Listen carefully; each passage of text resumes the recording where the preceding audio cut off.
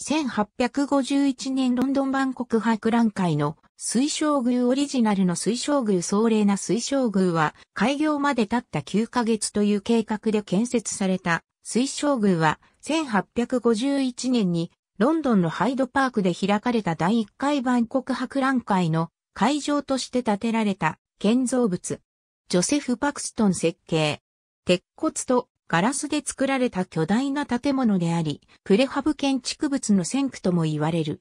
パクストンの設計では、長さ約563メートル、幅約124メートルの大きさであった。なお、水晶宮という名称は、イギリスの雑誌、パンチのダグラス・ジェロルドによって名付けられたものである。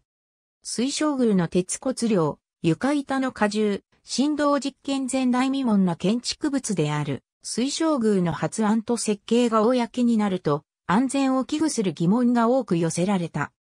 強風や嵐、氷、積雪による荷重に対する疑問に対し、パクストンは自身の設計した過去の温室の実績をもとに反論した。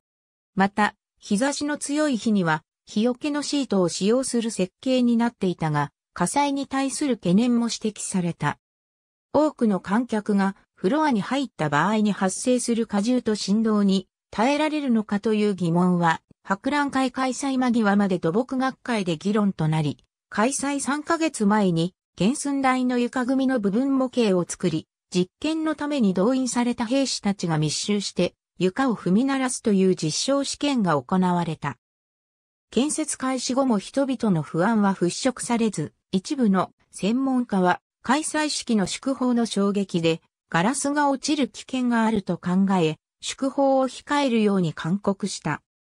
ロンドン南港市でナムへ移設後の水晶宮万博、終了後は一度解体されたものの、1854年にはロンドン南港市でナムの丘においてさらに大きなスケールで再建され、ウィンターガーデン、コンサートホール、植物園、博物館、美術館、祭事場などが入居した複合施設となり、多くの来客を集めていた。1870年代頃から人気に陰りが見え始め、1909年に破産した。その後は政府に買い取られ、第一次世界大戦中に軍隊の施設として利用され、戦後一般公開が再開されたが、1936年11月30日に火事で全焼してしまった。